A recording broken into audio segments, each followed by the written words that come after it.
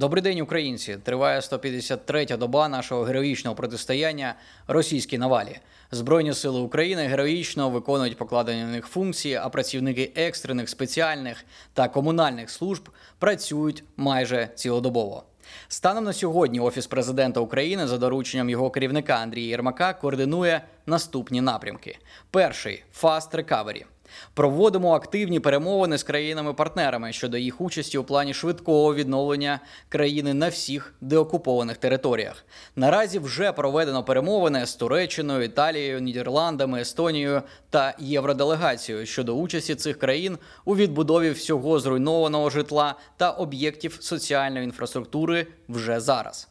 Мова йде про підтримку Київської, Одеської, Житомирської та Харківської областей відповідно.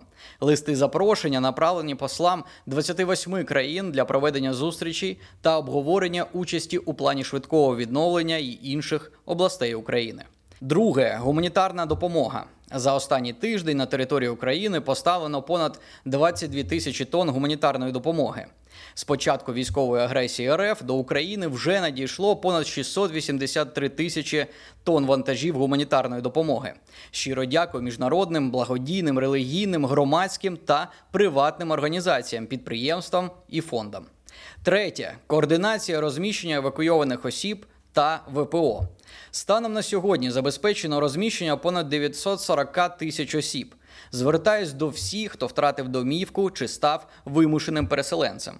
За дорученням президента Володимира Зеленського нами створено та успішно працює онлайн-платформа, де в реальному часі можна знайти собі прихисток. Детальніше за посиланням booking.help.gov.ua. Повторюю, кожен зможе знайти собі оселю, хоча б тимчасово. На всіх звільнених від російської окупації територіях тривають оперативні відновлювальні роботи. Зокрема, на Житомирщині продовжується розмінування території Народинської селищної територіальної громади. Роботи тривають у селах Нова Радча, Рубежівка, Стара Радча, Тичків.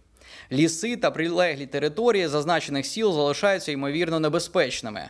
Мережі газопостачання працюють у штатному режимі. Відновлено подачу газу у шести селах. Села Вільхова, Ровба та Тичків, на жаль, ще не газифіковано.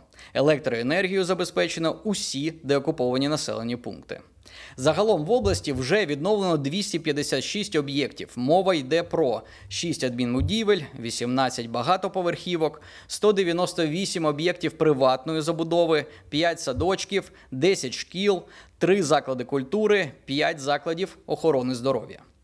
Київська область продовжується ліквідація завалів, наслідків бомбардувань та обстрілів. На сьогодні проведено всі необхідні ремонтно-відновлювальні роботи та забезпечено споживачів області послугами з водопостачання та відведення. На жаль, ще трапляються прикрі випадки мародерства та крадіжок. Однак поліція, як завжди, насторожує закону і правопорядку. Винні будуть притягнені до відповідальності. Нагадую на протипожежній безпеці і вкотре закликаю не палити сміття, траву чи інший непотріб. Будьмо пильними. Сумщина продовжує ліквідовувати наслідки численних обстрілів та бомбардувань. Зокрема, мова йде про Охтирський, Тростянецький та Лебединський райони області. Там комунальникам довелося прикласти чимало зусиль для відновлення мереж газу, водо та електропостачання. Станом на сьогодні всі наслідки пошкоджень ліквідовано. Системи працюють в штатному режимі.